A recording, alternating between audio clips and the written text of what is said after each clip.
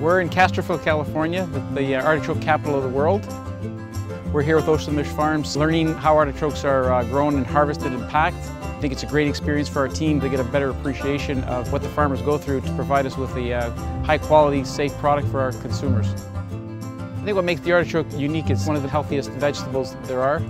They're very diversified, you can use them for many things. Ocean Mist has the same values as Longo's has. They're all about customer service, quality, integrity is a big part of their business. We both believe in family and good quality products. There's nothing like seeing it firsthand and hearing from the farmers how to handle the product.